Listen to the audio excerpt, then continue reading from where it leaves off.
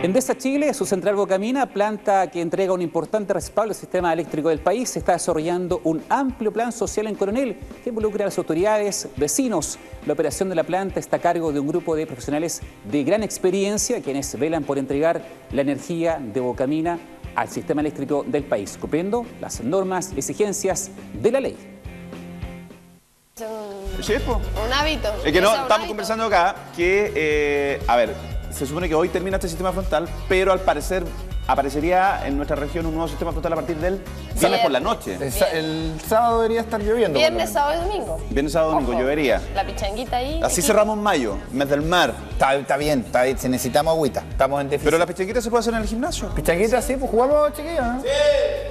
Se hace la hay que hacer, hay que promover el deporte. Eh, mira, A veces no hacemos los Has deportistas. dado, has dado un punto que yo creo que es justamente fundamental para el siguiente comentario. En general, la gente no tiene por qué dejar de hacer cosas porque llueva. Se entiende, ¿cierto? No va a andar O sea, pilucho por la calle, eh, pero, eh, ahí, porque el resfrío.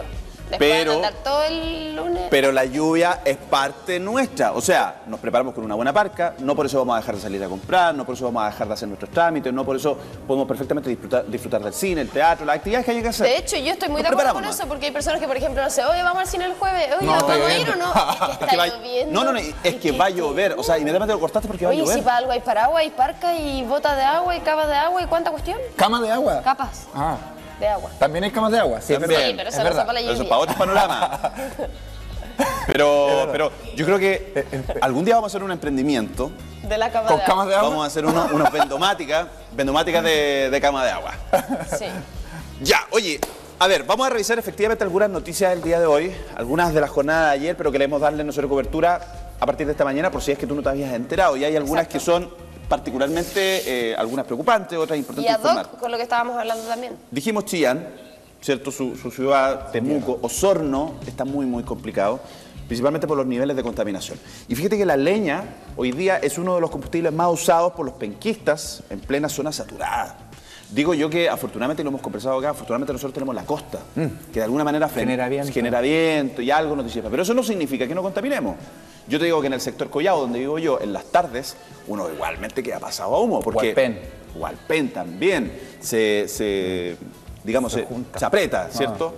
Bueno, lo cierto es que este producto puede causar más daño al medio ambiente si no se adquiere correctamente. Entendamos, ¿cierto?, la leña húmeda, de calor claro, liviana, que suene hueco, que se desprende la cáscara. Esas son algunas de las señales que tú tienes que tener bien claro al momento de elegir la leña, porque esa es la leña seca.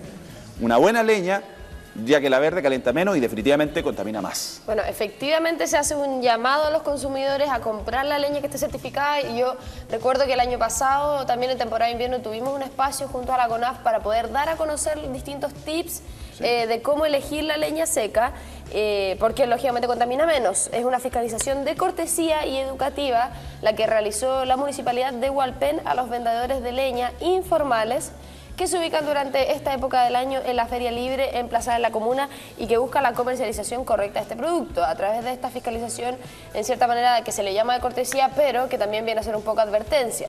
Claro. Bueno, lo cierto es que eh, el combustible de uso común y doméstico, y que mientras más se acerca al frío, más aumenta la demanda de leña, lo cierto es que la- en una zona saturada como es Concepción, se debe tener especial cuidado en el producto que se compra, ya que debe ser certificado. Y eso tú tienes que exigirlo, tú tienes que preguntarle a la persona que te, que te vende leña, ¿esta leña está certificada? Pregúnteselo nomás. Yo creo que es bueno empezar a hacer ese, ese ejercicio y que esté sobre todo seca, ya que de lo contrario calienta menos y contamina más. Fíjate que sobre eso mucha gente dice, es que con la lluvia es bien difícil mantenerla seca.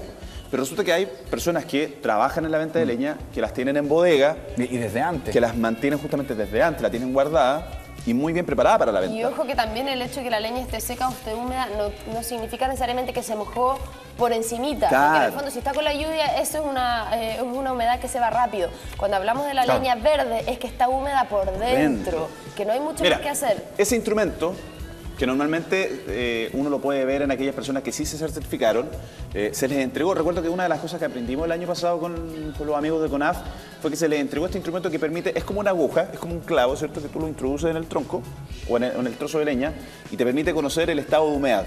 No me acuerdo ser los inferior a rangos. 25. Inferior a 25, muy bien. O a 22. Por ahí. Por ahí. Sí. Pero te era- permite, te tener un rango y conocer. Bueno, puedes y, preguntar y- también. y en caso de que, por ejemplo, vean la, vean la leña y no tienen este instrumento que es específico, hay algunas señales como, por ejemplo, que la leña debe ser clara en términos de color, que debe ser muy liviana la astilla, el sonido al golpearla debe ser un sonido hueco y lo clásico de la corteza, la cáscara debe desprenderse fácilmente y todas estas son las señales que indican que la leña está seca.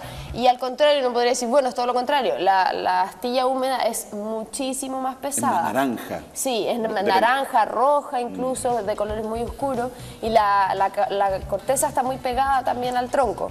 O sea, no es difícil poder discernir entre la leña Claro, seca uno y la puede leña diferenciar. húmeda, claro.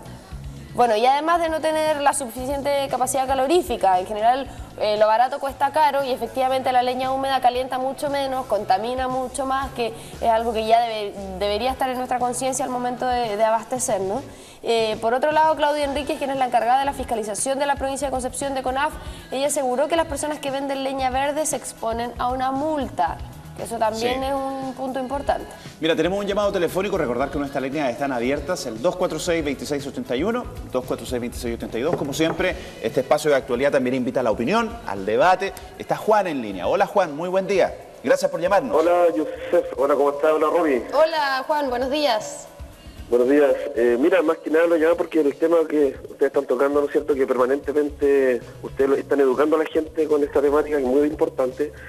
El tema de la contaminación atmosférica por leña es un tema básicamente domiciliario que no tiene que ver con la empresa, por lo tanto, el que ustedes trabajen en este tema y lo eduquen es súper, súper importante.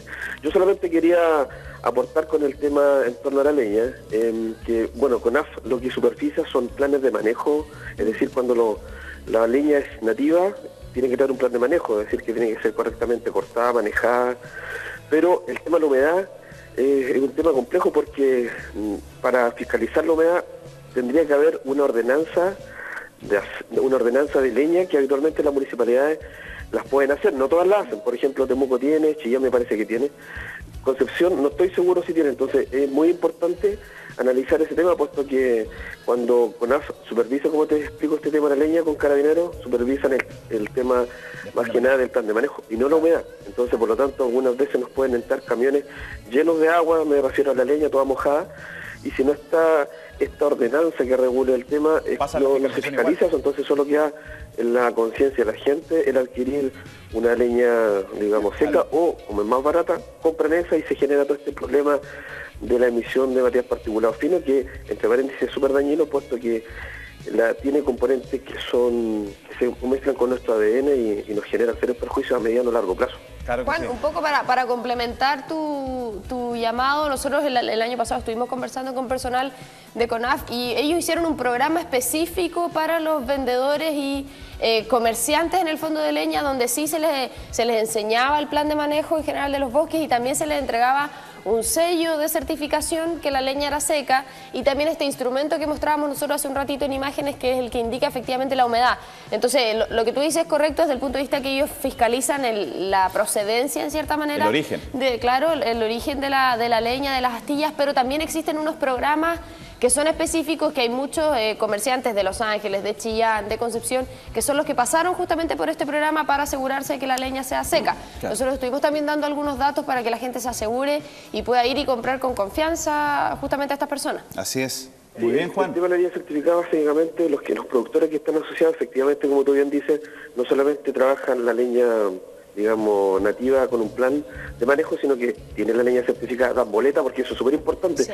que la gente lo sepa, que cuando uno adquiere leña certificada le dan una boleta, por lo tanto, si por alguna eventualidad tu leña viniera húmeda, tú puedes reclamar con esa boleta y, ¿no es cierto?, pedir el reintegro tu re- de tu plata que O sea, pagaste o que te comercio, como la leña. Eso es súper importante. Pero el gran porcentaje de la leña no es certificada. Entonces, eh, por eso hablaba el tema un poco de, de la fiscalización, que si no hay ordenanza, una ordenanza de por medio municipal que, que regule ese tema, la gran mayoría de la leña que entra no, no, no es de, de procedencia certificada. Muy bien, Juan. Muchísimas Gracias, gracias, Juan. por, por tu opinión y por, por los datos que nos entregas. Gracias. Es que, ¿sabes qué? Quiero, quiero comentar algo que decía Juan, y esto tiene que ver principalmente con lo que aprendimos el, el- el año pasado con este programa de CONAF, que, claro, yo entiendo la, la lógica de lo que nos cuenta Hans, eh, Juan. Juan, Juan. Y eh, de alguna forma, y como suele, suele ocurrir con otras cosas, también por ejemplo con el comercio ambulante. Hoy día el comercio ambulante, que es lo que ocurre en Concepción, la normativa, la ordenanza es multar a aquel que sea sorprendido comprando, ¿cierto? En el comercio ambulante. Todavía no se ha podido erradicar el comercio ambulante en Concepción o no se ha abordado desde ese punto de vista. Y con la leña pasa más o menos lo mismo. Lo que pasa es que aquellos que se someten a la, a la certificación, como dice la Romy, le entregan este sello Y era la invitación. Y la invitación es a las personas a preferir, y por eso estas campañas además de difusión, prefiera la leña que usted conoce la certificación, porque así vas a cuidar tu ambiente, vas a cuidar tu estufa, vas a cuidar también, ¿cierto? Tu bolsillo. Tu bolsillo, porque no va, va a gastar menos. Fíjate que en general lo del plan de manejo, para la gente que de repente no, no lo conoce, significa que aquel que corta la leña tiene que preocuparse nuevamente de replantar, de generar los cortafuegos, ¿cierto? De generar todas las condiciones propicias para que la leña siga su curso constante. Y frente a eso, eh, es importante que la gente también lo identifique, lo sepa, lo, lo- lo- lo haga algo muy doméstico para que a la hora de comprar diga, señor, usted no hizo plan de manejo, no está certificado, ¿sabe que no le voy a comprar porque su, su- su- su venta o de producto es irregular? De hecho, la campaña radial, no sé Esa si era se la han campaña. fijado, que ahora, hace poquito, este mes, me parece, el mes pasado, hay una campaña radial que justamente es un diálogo